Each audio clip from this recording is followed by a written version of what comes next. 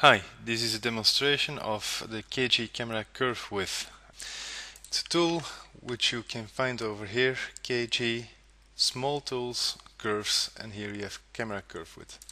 What it allows you to do, it allows you to set the curve width for rendering. By default, it's switched on, but I'm going to show you first the version uh, without the camera relative width switched on.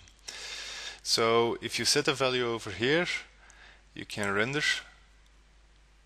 the whole thing and it's going to render out these curves with a world space width of 0.1 now the thing you can do which makes it very easy to use and which makes it very powerful is you can set for example the camera relative width.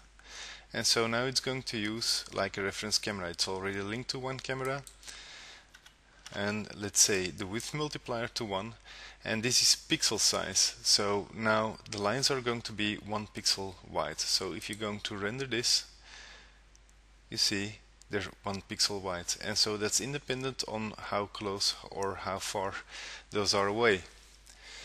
Now you can still adjust all the things on your camera.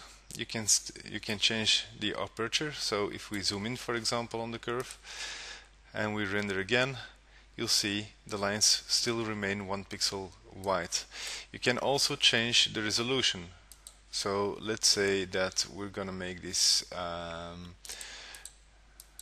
uh, 800 by 600 so it's a different resolution let's re-render that again and also over here you're gonna see the pixel size is going to remain always 1.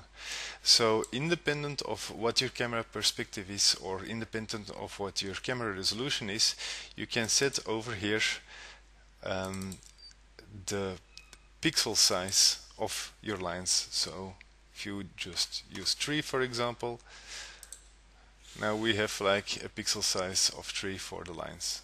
And so this makes it very easy to use. I hope you enjoy this tool.